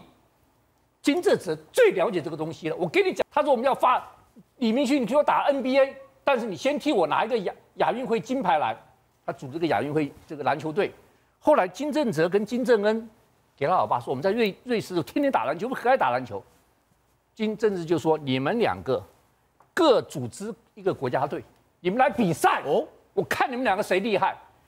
金正哲知道，当时他老爸已经属于金正恩接班了，哦他知道金正恩很厉害了。是我告诉你，篮球比赛的时候，赛前他也不给他做战术指导，中间他也不喊停，就大输他大他的队伍大输，大输之外他就解散。金正恩赛前沙盘推演，你打什么？你打什么？中间一直叫停，暂停，暂停，叫停，然后他大胜哦，全部罚站。你这个地方没打好，你这个地方为什么会失误？你这战术我叫你这样做了，大胜呢，他全部检讨。金正日在旁边看，哦，这个儿子厉害。金正恩看到老哥无能，我告诉你，这个故我一看这件事情，我就想到谁，你知道吗？想到谁？我就想到最血腥的乾隆。哦，乾隆雍正只有八个儿子，乾隆只有两个弟弟，一个是八弟，八弟年纪太小，唯唯一我能威胁他的就是武帝弘昼。结果弘昼是史上最荒唐的亲王，他天天很荒唐，把自己设灵堂，又去打顾命大臣，天天疯疯癫癫的。他是要保命，历史家全都说他荒唐是为了保命。向乾隆表示说：“我是个很荒唐的人，我对你一点威胁都没有，你放我一命吧。”就是金正哲现在做的事。金正哲当年把篮球队大败不赢金正恩，就是在做弘昼做的事情。他心机非常深沉，所以我告诉你，现在这些人人人有机会，个个没把握，就像当年康熙朱九王夺嫡，每一个人都在幻想，但是谁是谁，要等到答案揭晓才知道。好，董事长，现在整个北韩的世界有这么复杂、这么不错的迷离。现在北韩的领导班子，我们来看到这个是北韩最高的最高人民会议常任委员会议。看到所有都是领导班子，所有人都不见了，有这么可怕吗？如果像刚刚马老师讲这个情况哈，其实中美都不用紧张那马老师中间讲了一个很重要的概念，就是政变。哎，南韩以前是不是政变过？有，每一次都政变，军人政变是朴正熙那时候当什么？因为护卫大统领。朴正熙，朴朴这些军人当年的时候都是死带兵官的时候政政变，师长的政变啊。哦。所以师长就可以跟你干了，他们不会跟你客气的。那个韩国人跟台跟台湾人跟中国人不一样，中国人还谦虚儒家思想，他这个跟你玩命啊。所以现在大家怕的是怕政变，因为他和平转移会那么简单吗？和平转移以后，我我就完了，我这个我这个部队官能不能够顶多久不知道哎。所以他这里面是不是一个稳定的情况？因为它太神秘了，你知道吧？它是一个非常神秘的国家。那我相信他的部队很强很强，那这些部队长本身都很剽悍的一个人啊，对不对？他平常你也控制我，我也控制你啊。对。那这次机会来了，而且这个部队本身呢，就是北韩的部队大部分跟中国解放军的关系非常良好。嗯。他们有传统情谊，他有长期的关系，他包括现在所谓的林边在中朝边境所做的黑市的交易，所谓的边贸。那都是这些特权阶级在后面操控？那特权阶级跟谁合作呢？当然是跟中方的军方在做合作嘛。不然他们怎么维持还能够买到雪茄、买到包、买到一些鲍鱼、买到鱼翅这些高级的货品怎么来的？都靠走私来的嘛。所以他基本上他们这个看法是大家觉得。对于金正那个蒙巴哈的那台车子，他怎么可能运到北韩去？这个在在中国来看的话，根本一点问题都没有嘛，对不对？这帮他服务的人太多太多了啦。所以，而且我所以我讲的，北韩的军方跟解放军的关系非常密切。那这一点来讲的话呢，我觉得南韩、日本跟这个美国都比不上。所以你看到有动作出来的啊，一直是美国军队嘛，他怕嘛。那万一今天是和平转移没事，这个国家就是你最重要的就是核武库了。对，讲白了就就是你这个核子弹的掌控权最后在谁手上？我给你保证这个东西不会出错。好，你这个政权怎么搞我不管你，啊慢慢来，最后慢慢瞧，可能要换个过渡，换个一代、两代、三年、五年，又换成一个新的东西出来。你只要是和平的政的政权转移，我都无所谓。万一你是武装政变的话，对，那一定会乱嘛。武装政变的最后一定会有人抢那个核子飞弹的控制权啦。他现在就防乱，防就是防乱嘛，防兵变，就防最怕就是防兵变。那兵变可不可能？太有可能了嘛！就他们这些部队每天就打仗出身的。那那南韩这种文明国家，几十年前每一次都兵变了，对不对？从来没有例外过。韩国人喜欢打，韩国人喜欢吵，高丽棒子嘛，脾气暴躁，吃饭吃辣椒，他这动不动就翻脸的。这种情况。你认为他那么好好的驯养的，就乖乖的就当他的兵吗？他当然不会嘛。而且所以我说这个背景是很复杂的。他说如果和平转移，这个事情就没事了，对，暂时没事。可是会不会那么顺利？不一定，不一定。万一打起来怎么办？今天他内部如果一个师宣布要造反出来的话，我告诉你很简单，你马上就看到中朝边境开放，解放军一定进去。难怪现在中朝边境进去的嘛开始修马路了。当当然他不去不行啊，谁都怕嘛，谁都怕，搞不好老美还希望他去呢，因为老美派不了路面地面部队啊，所以这个情况是非常复杂。所以我说啊，这个这个刚好是屋漏偏逢连夜雨啊，因为习近平主习近平最近碰到的事情太多了，这个事情会让他非常的头痛啊，我想半夜都会下棋。所以这个事情大家谨慎观察，因为这跟台湾有关系，你知道吗？黄海如果出乱子，台湾也紧张啊。如果如果美军强势作为下去的话，哎，老共就来台湾跟你闹一下了吧？是这两个会有互动关系的，所以我们国军也要保持非常高度警被曾戒。经有人讲哦，你从甲午战争到韩战，台湾这个命运其实是跟韩国紧紧绑在一起那我请问的。您问题，我们这两天发射那个什么熊那个那个云峰飞弹飞弹干什么？那阻吓功，这也是阻吓功能啊！你敢动我就敢动你啊！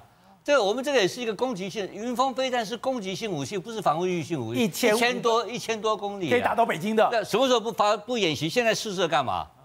大家都紧张啊，台湾都不紧张，台湾也紧张，台湾当然紧张，不然现在神经病去发一千多公里的飞弹干嘛？那是不是没事干找事干，是就是会有事情发生。好，所以建议这一场台湾也紧张吗？我们发云峰飞弹是警告中国，还有我们还特别把那一张照片，辽宁号的照片弄出来说，我已经看到你了。就是在代表告诉四周这一些国家，我想尤其是中国，我们知道你在干嘛啊。那事实上，这个台湾也有角色。台湾在台海，尤其台湾讲印太战略这个角色是非常非常的重要。那我们在呃去年的时候被宣布说我们加入印太共同治理平台的时候，听起来好像是说我们很高兴美国接纳了我们一起加入。事实上应该是说他们很需要我们加入，因为在这个地方我们是重要的岛链，是而且其实日本跟呃中国跟韩国这边，其实台湾大家不要忘记旁边的海域都在那里。渔船也在那里走来走去，地下电缆也在下面走来走去。那这个地方下面的军舰、潜舰在过的过程里面，我们怎么样监控？这里面都互相需要通报资讯，以及我要知道你过了哪里了。所以这里头哦，包含说像公海的海域，我们大概在渔船可以知道，可是我们除了这个之外的，包含军舰或者是相关的军船在过的过程里面，大家其实彼此的坐标大家都晓得在哪边。嗯，那这个是一个很重要的资讯，是说如何大家在这边要维持一个基本的平衡。是其实这个东西很很难说有一个人完全制霸啦，那一定是大家各自的平衡。所以前一段时间不是菲律宾他们那时候呃，就是中国出来搞了一个大外宣，说我们跟菲律宾是好朋友啊对，隔着海跟你 say hello 啊，大家互相鼓励。我们拥有共同一片海。对啊，这件事情他们完全惹错了，因为菲律宾跟他们是为了南海主权打上官司，打国际官司的、欸。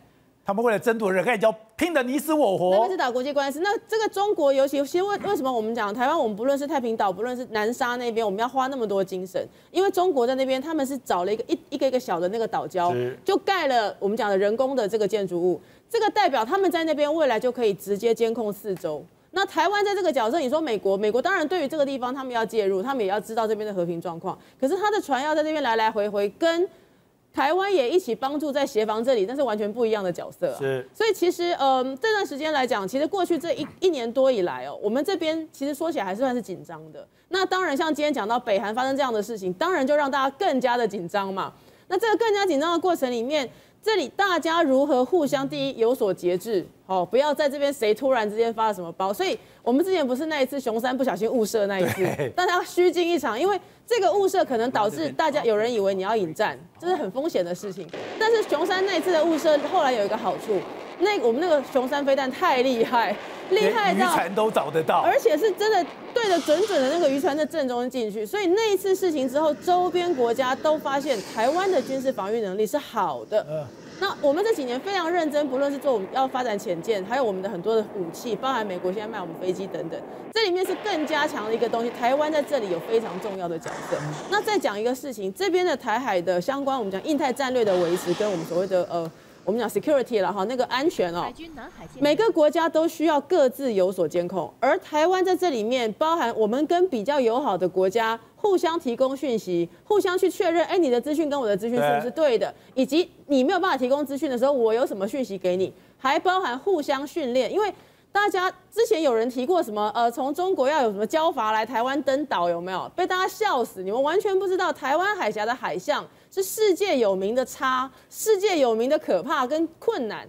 那这个地方包含美国或者日本的训练，以及他们在这个地方，他们需要台湾这边的协助。其实台湾在这个地方的角色非常非常重要。好，对的，听讲我才知道说，北韩在某个程度来讲，他是非常相信台湾的，这我从来没想过的。你知保证你知道有一种东西叫下酒菜，那么我们的酒家里面有酒酒家菜，对不对对啊啊？那日本的居酒屋里面也有很多的下酒菜等等啊。北韩平壤的这些男人们呢，他们喝酒的时候的下酒菜，你知道是什么吗？是什么？红烧鳗，也就是蒲烧红烧鳗罐头，然后呢，金枪鱼罐头、黄花鱼罐头。那你知不知道这刚刚讲的这三种罐头来自于哪里？哪里全部是台湾去的，你知道吗？假的对，没有错，他们全是台湾罐头哎这是他们的，这是他们的下酒菜，而且是高档的下酒菜。你听起来说罐头怎么可能下酒菜？真的是高档的下酒菜，从台湾去的。然后呢，除此之外呢，他们的北韩的顺安机场就是国际，呃，他们的国家的那么首都国际机场啊，他们的厕所里面的马桶跟洗手台全部是台湾的，你知道吗合？成全部是台湾的。然后中国，呃，不是不是不要不要中，他跟中国关系非常好，对不对？可你知道吗？北韩在全世界第一场投资说明发表会是在台湾举行的，然后呢 是在台湾举行的，而且当时呢许许诺台商如果去的话，三年免税。三十年到五十年投资保障，然后呢，保障你来了以后呢，独家啊，就是说你这一家业者，台湾的业者来了，也不管你生产什么啊、只有一家，绝对不会给全世界可以做独门生意。没有错，也是在台湾呐、所以不要太小看小台台小看台湾了、为什么呢？各位还记得吗？金正恩曾经手拿一只手机，大家吓了一跳。HTC HTC，可是你只知道金正恩拿 HTC 啊。金宇正也是拿 HTC 啊，所以呢，事实上他们大量的用这个相关的台湾货。那除此之外呢，你更不要小看北韩跟台湾的贸易关系啊。记不记得川普下令全世界，那么一定要把这个呃北韩相关的石油禁运，对不对？结果他的无人机不小心拍到有一艘船在公海，偷偷把油给了这个北韩台商干的，你还记得吧？哎，不要小看台湾，为什么？我们跟北韩，我们台湾是北韩，那么在进出口贸易的第四大国，你绝对不相信，你知道吗？我们是第四大国，哎，你知道吗？所以呢，事实上，台湾跟这个北韩的贸易的关系已经有进行三十年了，长达三十年。那么，因为呢，他们过去呢，啊、从这个等于说，啊、这个金正日啦，然后呢，金日成在内，都是跟中国很好的关系。那为什么这三十年会有这个变化？因为很简单，对中国而言，那么北韩一直是它的拖油瓶。我讲白了，都是要来要掉东西的嘛。可是对北韩来讲，这些也其实起了变化。为什么？中国不是改革开放越来越有钱了嘛？那北韩就成了一个负面的，你知道吗？我必须在外交上、在战略上，我我要养着你。讲白了，我要给你油，要给你粮食，给你什么？是但是呢，事实上，他们比起过去北韩要什么有什么，已经是不一样了。所以北韩看着中国改革开放，那我也要啊。所以呢，不断的在外面呢，不断的这个游走啊，但是他很多地方都碰壁。所以他们曾经还派过五人小组，是军方的哦，军方高层的五人小组，那么呃伪装成这个所谓的顾问团呐、民间的顾问社团来到台湾招商。那我们的官员也曾经去过，你知道吗？也曾经去过北韩呐、所以不要小看。那么他们最喜欢喝的咖啡，你想不到的。博朗咖啡，为什么怎么可能呢？哎，你不要小看那个，哎，北韩都很穷啊，那一个月都赚赚那么少的钱，怎么喝北兰咖？他喝的一罐北兰咖啡是我们这边售价的两倍，都不是业者自己把它进口过去的，你知道吗？都是经过贸易商买了以后啊，包括博朗咖啡啊，包括各式各样的东西，全部贸易商转运个以后进去到里面去。然后呢，你可能也不知道，金日成的生日，台湾的台商曾经在台湾的报纸。那么刊登全版的广告祝贺金日成他他的生日啊！当时那一天生日那天要登，台湾没有一家没有一家报纸敢登，你知道吗？后来是在金日成三天后，终于有一家报纸敢登那个相片了，怎么可能啊？告诉各位了，其实北韩跟台湾的关系一向很好，我们只知道说那个蓝宇的那些核废料差一点去放在这个运到北韩去嘛，美国反对啊，所以呢后来没有成型嘛。事实上这些年以来，北韩在农作物上面呢，包括养猪的技巧，包括这些所谓的温室，那温室如何种花、如何种稻的这些技巧，包括龙虾的养殖等等，这些都是台湾去协助他们的，所以你就知道台湾跟北朝鲜的关系如何密切了。这这位是捷克参议院的议长，他在捷克是有非常高的地位。他在一月多的时候过世，可是怪的是他的太太、他的女儿最近出来接受媒体访问，竟然直指他的死亡跟中国驻捷克大使馆有关，居然说他是被暗杀的。他为什么被暗杀？是他当时想要到台湾访问，现在中国大使馆不准他来，他就有这个不测之祸。其实这件事情真的非常可惜哦，因为这个议长是一个很资深的政治人物。他其实哦，捷克这几年跟台湾的关系是越来越好。那捷克跟波兰这些他曾经被共党统治的国家，尤其像波兰，他曾经被灭国过，所以他们对于共产党事实上都比较谨慎、比较小心，甚至认为要非常防范共产党的势力再度反扑回来灭绝他们的国家哦。那捷克大家记不记得之前我们提到他那个布拉格首都市长海盗党的那个市长？市长他其实就很敢啊，他就认为说中国的泯灭人权的动作他不能接受，也对台湾表示友好。他对台湾表示友好，甚至他不惜跟台湾这边跟台北市做姐妹市。那去年我们也去拜会过他们的参议院的副议长，是一个女生。那那个副议长跟我们呃几个我们国会议员哦，我们去那边跟他拜会、见面、开会，然后他还带我们去看了一下他们的会会议，还跟他们一起吃饭。吃完饭之后，有一个事情非常有趣。通常我自己这几年的经验，我们去拜会过人家哦，人家其实很多时候他们不太会愿意公开，因为怕中国不高兴。是。我们那天跟他拜会完，我们离开了没有几个小时哦，他的呃这个参议院的官网上面就播出他跟我们一起拜会、吃饭、见面的照片。他不怕人家知道。对，那个副议长他就写的很清楚，说啊跟台来自台湾的国会议员见面，然后聊什么事情。那所以那个时候我们就知道说，这个议长呢，他应该会在今年，就是我们农我们刚刚选举结束的时候，希望能够能够来台湾拜会。那我们那时候也觉得很好，这是一个重重视两国交流，而且不要忘记哦，其实呃捷克跟台湾的这个经济交流事实上是很多的，而且我们。他们也一直，捷克跟波兰一直提醒我们说，他们是进入欧洲重大门户。那我们与与其整天在那边敲英国的门哦，法国的门，不如跟去捷克跟波兰，跟捷克跟波兰开了这个门之后，事实上经济的东西会拓展的非常的快。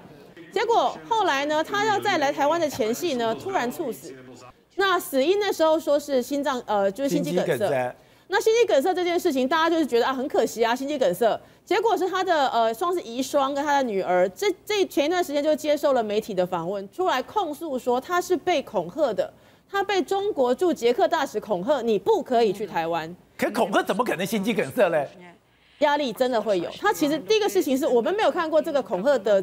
动作这么的呃粗略，因为他甚至他的遗孀后来在他的公事包里面发现两封信，一封来自于这个大使，一封来自于他们捷克的总统。那捷克总统那封那封信就是转等于是转达中国那边对于他要来台湾拜会的这个愤怒，认为说如果这样你给我试试看。而且他那一次是要带厂商来，那带厂商来，他们就说如果你带敢带这些厂商去，这些厂商未来就不要在中国做生意了。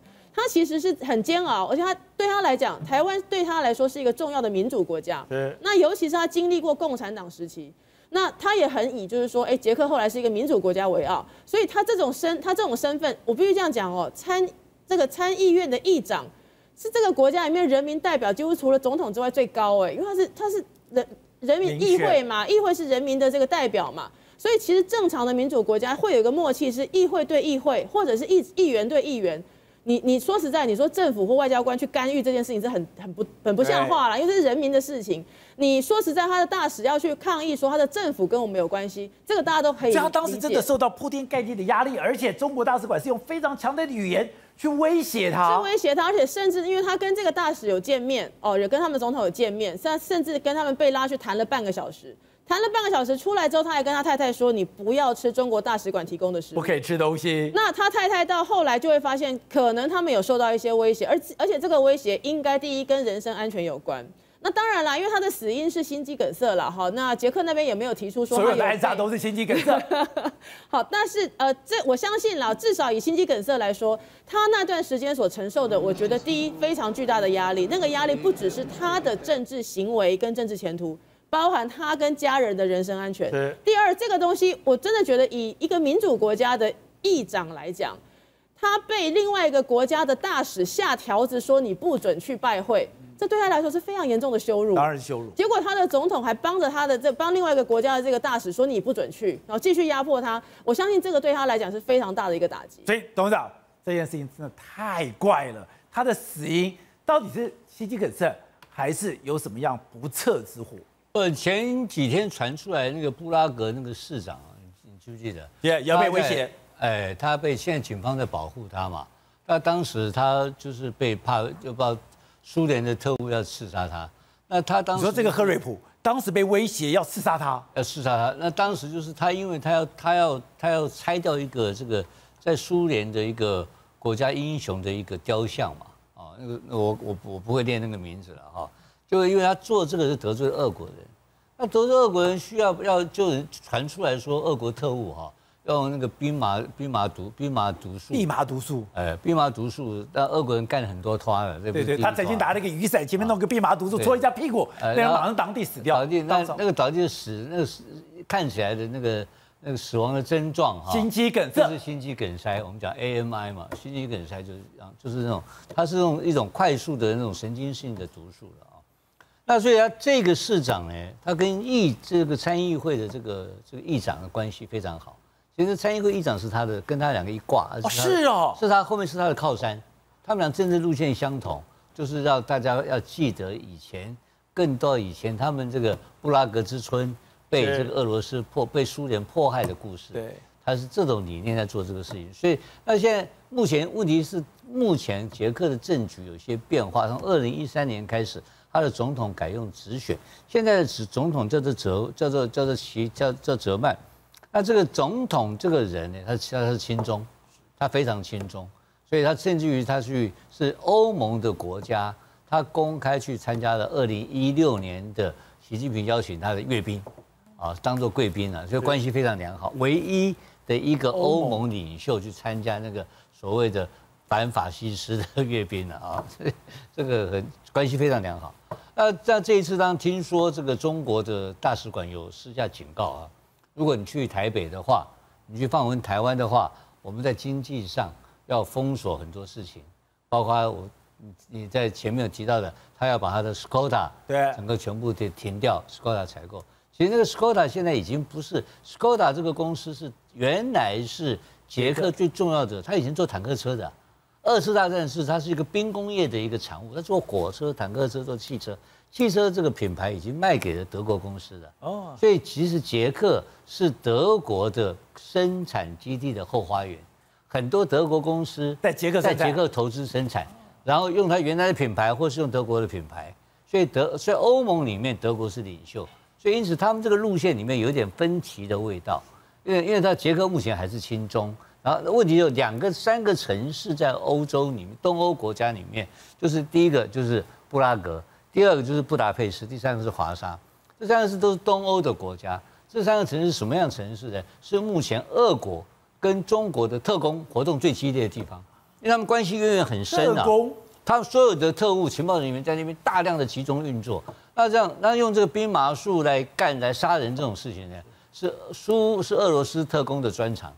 那我相信这个不是中国人干的啦，是。呃，应该大家互相拜托一下。什么叫互相拜托？这个这个互相杀人可以互相拜托，交互委托嘛，对吧？你杀我要杀的，我杀你要杀的，可以这样干吗当然，他们是合作关系，有很多特务是互相合作的啦。他也可能有契约，我不知道怎么要搞。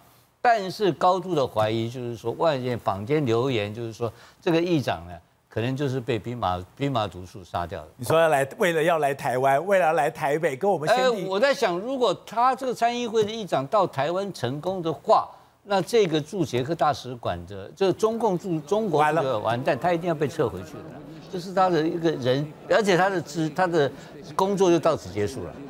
他人生的 人生最后的一站就是布拉格，所以我觉得他绝对不可能让这个呃一参议长、参议会议长跑到台湾来。好，所以会者另外一个值得关注的是，哎，五眼联盟，我们知道他最近互动的非常的密切。对五眼联盟现在又有个动作，竟然要去查。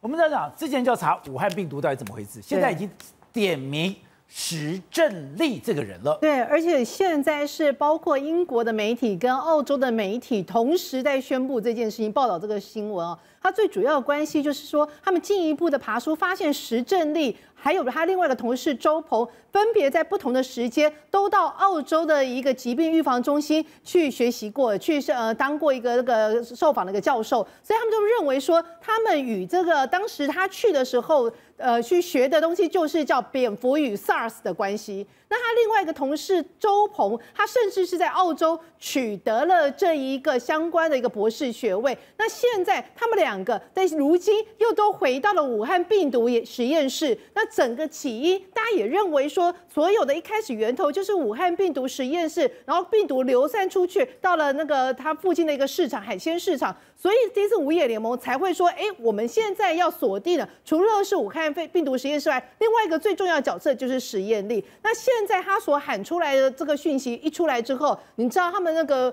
中国驻澳洲的大使陈敬业马上也就跳出来，他又刚走向刚刚捷克的一样的路途径，一样用经济来要挟。他讲什么呢？他说呢，如果你要再这样下去的话，我们中国很多的消费者可能会对澳洲进行抵制。哪一些抵制呢？澳洲牛我们不吃了，澳洲葡萄酒我们不喝了，澳洲的教育我们中国学生不来了，澳洲的煤、澳洲的铁我们不买了。哎，你不要觉得好像讲了不多，夯不啷当算起来，呃，目前的金额是一千五百多亿美金，哎。澳洲，呃，中国占澳洲的整个外销的比重大概有二十六趴，是他们一个很大很大的一个贸易伙伴。澳洲外销四分之一是到中国去的。是，所以现在他等于是下了一个这样子的一个杀手锏，告诉、警告澳洲，就说你们不要这样做。但大家不要忽略了，澳洲现在把那个矛头指向中国，指向武汉病毒实验室。指向实政力，不是只有个别人在讲话，包括他们之前的总统那个 Morris 在二十三号的时候都直接说，在五月 WHA 开会议的时候，我们有几个事情要讲。第一个事情，我们希望中台湾可以变成是相关的代表。第二个事情是我们要求独立调查机构来调查这个部分。那现在独立调查机构除了澳洲讲，现在有更近的媒体说，他已经致电给包括了像五眼联盟啊、加拿大、英国啊、美国这些单位，然后要要求联手。告告诉那个中国这个部分，你一定要交代清楚，到底这个始末是怎么一回事。那现在大家会觉得说，澳洲要出来跟中国算总账，会觉得说，哎，是因为这一次武汉肺炎疫情的关系吗？其实大家要忽略掉一个重点了。什么重点？大家记不记得王立军的事情？就是当时那个澳洲不是也一直在报吗？十月份开始，但事实上在九月二十号的时候，我们台湾不是就断交到那个所所罗门？所罗门在整个在呃地理位置上，其实对澳洲来讲，等于是它一个非常重要的入口处。而所罗门向来最大的金援国就是澳洲，它有六三趴的经济都是靠澳洲这边来金援的。那现在一下子，因为据说所罗门跟台湾断交的关系，就是因为你澳洲金援我要分歧。但是中共跳出来说，它可以让我一次有多少美金？所以在这种情况之下，中国等于是撬走了澳洲的一个非常重要的一个呃，本来是他小对，本来是他小弟的，现在被他给撬走了。所以从去年九月开始爆发这件事情时候，十月就有了王立军的事情，他就跟中国算总账，翻脸。到现在一路走下来，现在澳洲出手告诉五脸联盟国家，就说我们现在要一起跟中国算总账。除了要调查之外，最重要的一件事情是，我们要向中国要求索赔。这真的太神奇了！我们已经第四天零确诊，零确诊不是什么特标，可是中间有几个我我觉得我不可思议是，磐石界的官兵一下来，哎。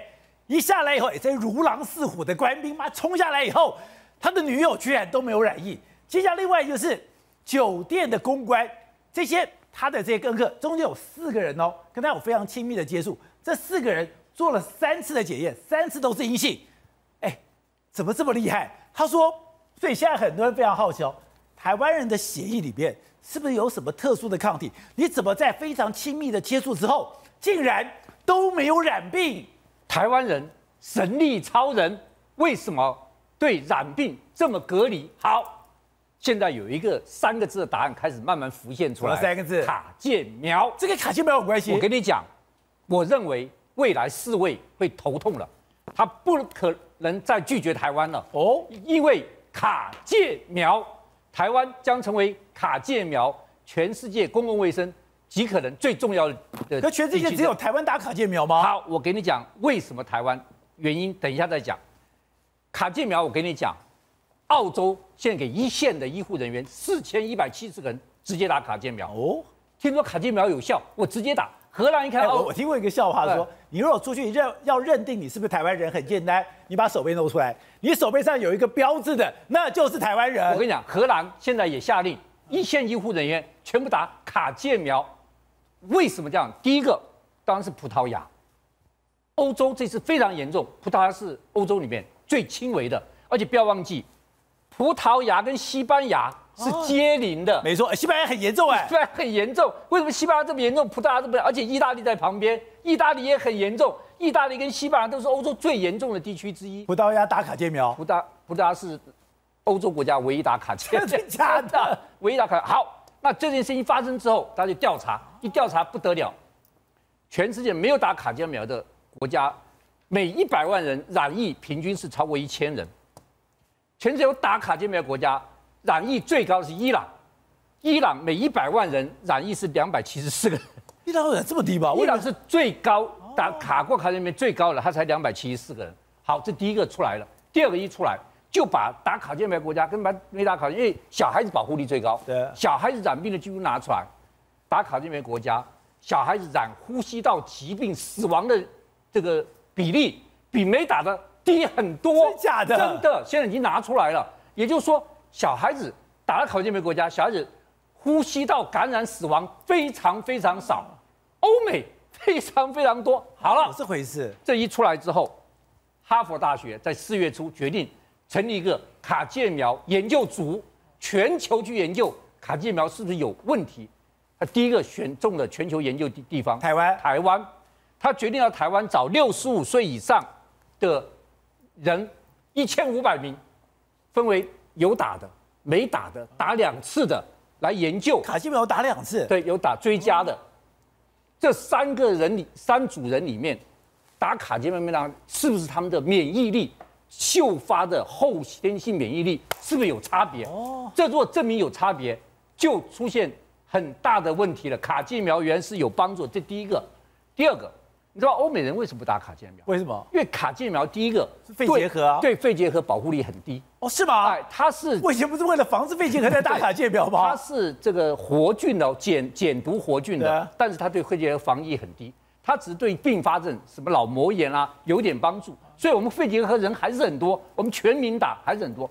第二个，欧美人打防疫很多，第二个到二十五岁以后就没什么防御力了，还要追加，所以欧盟就说这个我不要。好了，欧盟不打就出现一个新的问题，欧盟不打之后他就不做疫苗，不做卡介苗，只有台湾做吗？我告诉你，我们卡我们买不到卡介苗，所以卡介苗是我台湾自制的国产疫苗，所以将来如果研究出来卡介台苗湾，有做，台湾如果真的卡介苗对新新冠肺炎有用的话，我们台湾是生产大国，别人还向我们买的，哎有这回事。还没完，国务院就知道这个契机来了。然后呢，如果卡介苗真的哈佛，现在不止哈佛，现在很多单位都在做这种研究因为，我一开始一开始听到我日本朋友跟我讲这件事，我要当笑话，没想到变真的。，真的而且现在国际的这个大大规模的调查都开始了。